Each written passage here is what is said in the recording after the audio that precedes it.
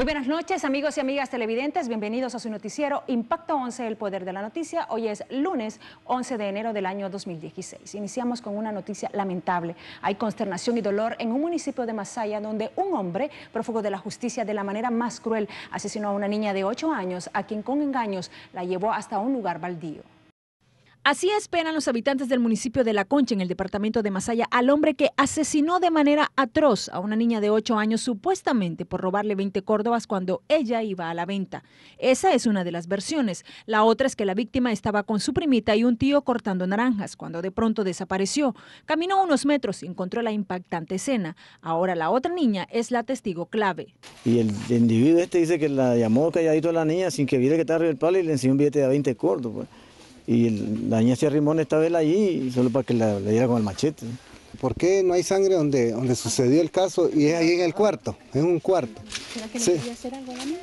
No, es que, que no, no le puedo decir eso porque yo hasta ahí no sé, pues. Pero eso es lo raro, pues que donde si ella estaba sorteando las naranjas, era allá la sangre, ¿verdad? No, no puede ser que esté en un cuarto y la sangre esté en el cuarto. Puede entrar y enfoque, ahí está la sangre. Hecho con una criatura, con mi nieta, necesitamos que la justicia le caiga con todo el deber, porque era una niña indefensa, peormente que no tiene su madre. En el municipio de La Concha, en medio del dolor y la consternación por la forma en que fue asesinada, amenazan con hacer justicia, pero no en un tribunal. Ahora el padre de la niña es investigado porque presumen que ingería licor con el homicida y ahora prófugo de la justicia Julio Alemán Mercado, quien según testigo en varias ocasiones le dijo en medio del licor que no solo la mataría, sino que abusaría sexualmente de su hija. La Policía Nacional en ese departamento, por supuesto, que realiza las investigaciones e intenta dar con el paradero del hombre antes que los habitantes de esa comunidad hagan justicia con sus manos. En otras informaciones, en Jinotega, una mujer se debate entre la vida y la muerte luego de recibir nueve estocadas propinadas con machete por su propio cónyuge, quien en un arrebato de celos atentó contra la vida de su pareja. Entre la vida y la muerte está una mujer de 31 años originaria de Jinotega, después de recibir nueve estocadas propinadas por su compañero de vida durante una calorada discusión. El autor del crimen por ahora está prófugo de la justicia. Ambos procrearon seis hijos, entre ellos una niña de nueve años que lamentablemente presenció el terrible hecho. Familiares de la fémina aseguran que no es primera vez que su pariente sufre de violencia, por lo tanto piden justicia. estuvieron discutiendo y ya después el hombre no se, no se metió y después entonces el hombre ya entró a meter a solo a machetear. Entonces él llegó a la casa a ofender a mi mamá y le dijo que si, que pues que le dijera la verdad. Ahora la policía de Jinotega intenta dar con el paradero del desalmado hombre. Mientras tanto, la víctima lucha por su vida en un hospital. En medio del silencio y la oscuridad murió un joven de 18 años quien minutos antes sufrió un accidente de tránsito y quedó en una alcantarilla sin que nadie lo viera. Fue hasta hoy que el cuerpo fue encontrado. Lo van a llevar, no se lo van a llevar. No lo vamos a dejar que se lo lleve medicina legal. No, no, yo ya sé por qué fue el accidente. Si anoche fue, anoche vinieron a ver. 15 horas de búsqueda por hospitales y la carretera Nueva a León finalizó cuando los padres del joven de 18 años, Ander Nadir Moncada Rodríguez, recibieron una llamada que el cuerpo sin vida fue encontrado en una canaleta por un grupo de trabajadores de una empresa de mantenimiento de redes eléctricas. Para la familia no hay nada que investigar, porque el mismo padre reconoce que lo tenía castigado por su mal comportamiento, pero que le prestó la motocicleta y el joven se fue a participar en una carrera ilegal. Paramos ahí, ¿eh? ayer en la noche, como a las 11 de la noche buscándolo, lo paramos ahí buscándolo. Pero no nos bajamos. Él me dijo que, se, que no- yo le dije, nos bajamos. No, hombre, si no está, solo pasamos el pasito. ¿eh? Y entonces ahí nomás, después nos fuimos otra vez, donde otros familiares a buscarlo, a ver si, porque vos sabes, chaval inexperto, tal vez por nervio, por temor, se fue alguna familia, dijimos nosotros. Y comenzamos a llamar a todos lados y nada. No, hombre, llegaron unos chavalos vagos ahí. Un hijo de un policía anda en moto también.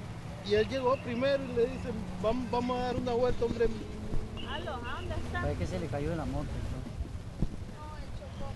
Él chocó a otro muchacho ahí que también está accidentado.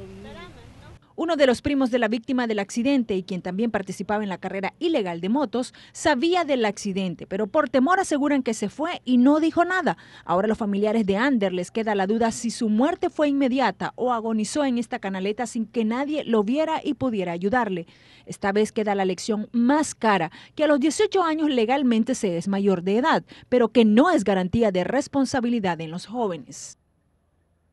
Usar el casco de protección quizá le hubiese salvado la vida a un hombre de 26 años quien lamentablemente murió en un accidente de tránsito en el kilómetro cuatro y medio de la carretera a Masaya. Marianilia Gutiérrez con la información.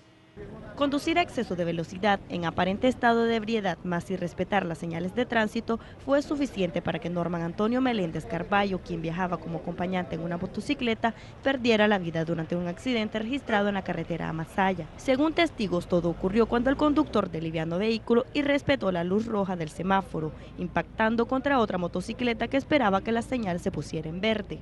Pero ellos vienen como el diablo que se lo lleva el... con perdón de la pero vienen, por favor, vienen. Las rojas, las dos rojas se pasaron ahí.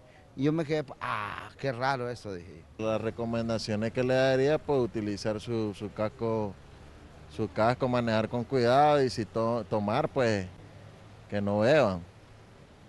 O sea, sí, respetar las señales de tránsito. El cuerpo de Laura Oxiso fue remitido a medicina legal para determinar la causa de su muerte, ya que no presentaba heridas ni golpes, mientras que el conductor que irrespetó el semáforo fue llevado al Distrito 5 de la policía como principal responsable del accidente. El otro motorizado también fue trasladado a la delegación para dar sus declaraciones. En situación precaria vive una madre y sus siete hijos que hoy fueron casi desalojados gracias a los vecinos. Ellos hoy no quedaron a la intemperie. En la acera de un barrio de Hilario Sánchez en Managua, una madre y sus siete hijos se niegan a irse de este lugar que es lo único que tienen para vivir. Según la afectada, trabajadores de la alcaldía de Managua intentaron quitarla de aquí, donde es un lugar peligroso por la delincuencia, pero fueron los mismos vecinos los que impidieron que al menos esta noche quedara la intemperie. Aquí tenemos Vinieron con coba, con barras, policías y todo a quererme sacar. Me sacaron las cosas afuera y yo no puedo estar durmiendo en la calle con mis hijos porque son mujeres y ellas pues, corren peligros en la calle. ¿Cuántos hijos tiene usted? Tengo siete. ¿Siete hijos no tiene un hombre que No, siempre he estado sola. Y no tengo ni mi mamá, no tengo familia, no tengo nada, realmente solo con mis hijos. Esta pobre mujer ha rodado hace un año, no tiene familia y le pedimos a la Rosario Morillo, ahí donde están esas casas, que le dé una casa digna para que esta mujer viva con sus hijos. La esperanza de los habitantes del barrio Hilario Sánchez es que la alcaldía de Managua pueda darle una respuesta con una vivienda humilde y segura, no solo para la madre, sino para sus siete hijos. Esta noticia, por supuesto que le va a llamar mucho la atención. Ya se empiezan a construir los dos primeros de un total de 50 paradas de buses con servicios higiénicos que la alcaldía de Managua construye en los lugares más transitados. Lo que aún no se sabe es que si el uso de los mismos tendrá un costo. Quizá usted es una de las muchas personas que nunca se imaginaron que en una parada de buses se construirían baños para quienes no pueden esperar llegar a su destino. Esta es otra de las obras de la alcaldía de Managua y las primeras se construyen frente al Hospital Berta Calderón y la otra por la Universidad Centroamericana. El detalle para algunos usuarios es el cuido y la higiene en estos servicios sanitarios públicos. A veces la gente deja tirar las cosas así, son cochinas pues, algunos, no todos pues. Que haga alguien pues que lo cuide para que así miren si está limpio, está sucio, porque la gente a la mayoría un chancha. Veo que la alcaldía está haciendo muchas modernizaciones bastante bien pues por toda la población, por todos los usuarios pues las que, abordan las unidades aquí.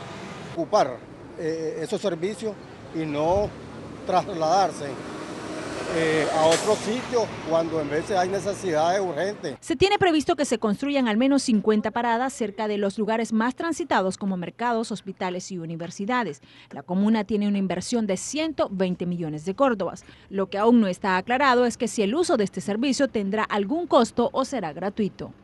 En noticias internacionales, autoridades de México pretenden interrogar a la actriz mexicana Kay Castillo y a un productor estadounidense después de la entrevista realizada a Joaquín El Chapo Guzmán hace tres meses, aún siendo prófugo de la justicia.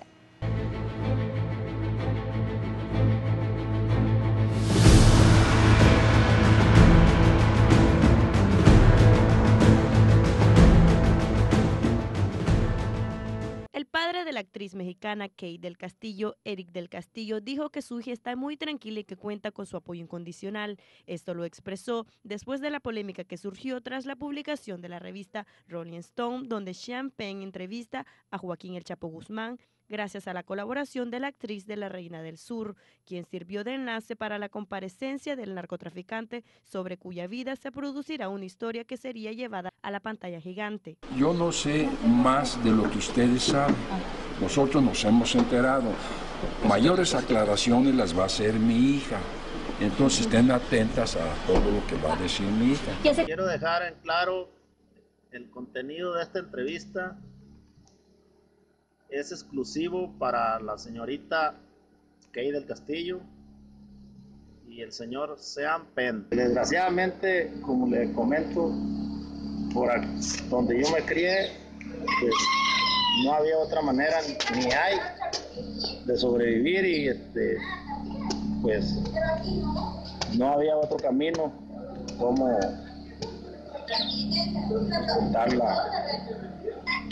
cómo llevar a cabo nuestra economía para poder vivir. Meses atrás, la actriz del Castillo dejó al descubierto a través de una publicación en su cuenta de Twitter su simpatía hacia uno de los narcotraficantes más buscados del mundo.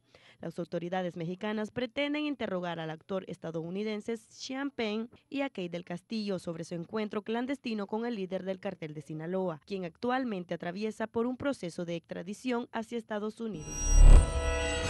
Brasil, un hombre de 27 años murió prensado por su camión al momento en que él mismo se deslizó de manera accidental hacia la víctima, impactándolo contra una pared. Al lugar llegó la policía, pero todo esfuerzo era en vano porque el hombre aparentemente falleció de forma instantánea. Realizar un acto supuestamente gracioso casi le cuesta la vida a esta joven. En el video se puede apreciar donde ella intenta darle un beso a una serpiente pitón de un zoológico en Tailandia, pero el animal reaccionó de la peor manera asestándole una mordida en el rostro. Los dueños del parque de animales en recompensa le dieron 3.200 dólares a la joven para gastos de hospital y medicinas. De esta manera hemos llegado al final de nuestras informaciones. Gracias por su amable compañía. Recuerde que siempre Impacto 11 a las 6 y 50 de la noche y 8 y 50. Que tenga muy buenas noches.